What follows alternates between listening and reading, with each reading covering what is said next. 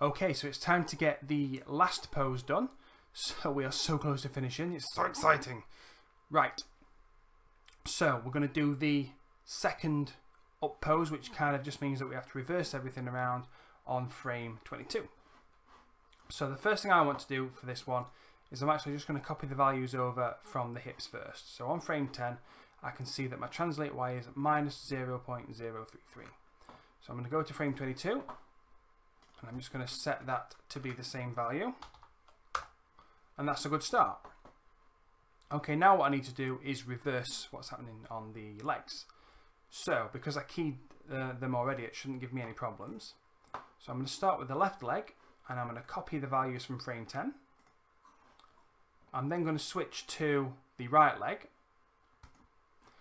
and then on frame 22, I'm going to paste that over.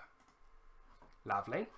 Right, now with the right leg selected, I'm going to go to frame 10 copy the values there, select the left leg, go to 22 and paste them in. Boom.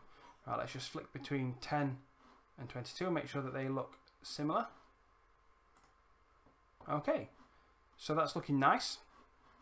So what I need to do now is test this.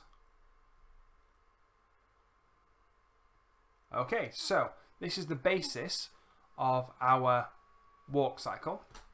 And it's already not bad, but in the next step, we're just going to polish this by using the graph editor. There are a couple of areas I can see. If you look closely, you can see that the feet are raising at certain points. So we'll look at repairing that in the next step.